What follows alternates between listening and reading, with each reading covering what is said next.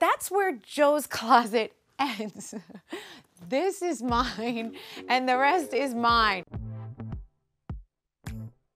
Hi, BravoTV.com. I'm Melissa Gorga, and welcome to my closet.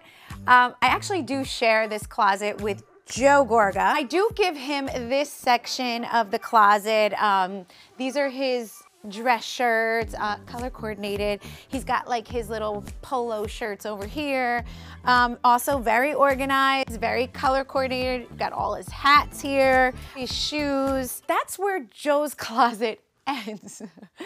This is mine and the rest is mine. So we technically share a closet, but kind of don't. I definitely took over.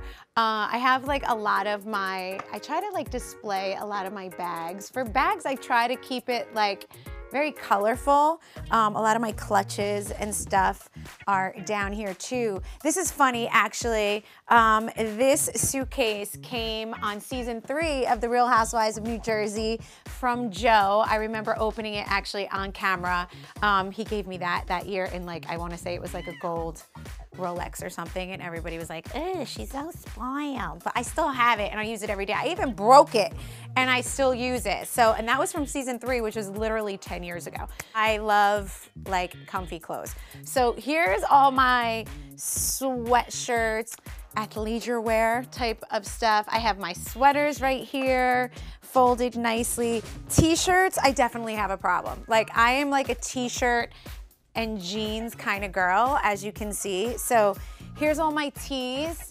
It is safe to say that I have a jean fetish. Over here, I have a lot more of like my sparkly section.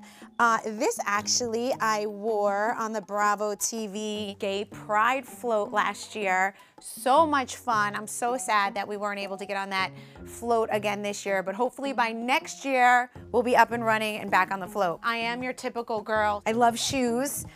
It looks like I don't wear any shoes other than black, gold, or nude. We have a couple silver mixed in. Check these shoes out. These were made for me on season three, also like when I first became a housewife, from a fan. Um, she literally bedazzled a whole pair of shoes for me, which I love so much. Aren't they to die for? All right, guys, thank you so much for coming to my closet. Have a great day. Love you guys so much. I'm gonna go check on my babies. Mwah.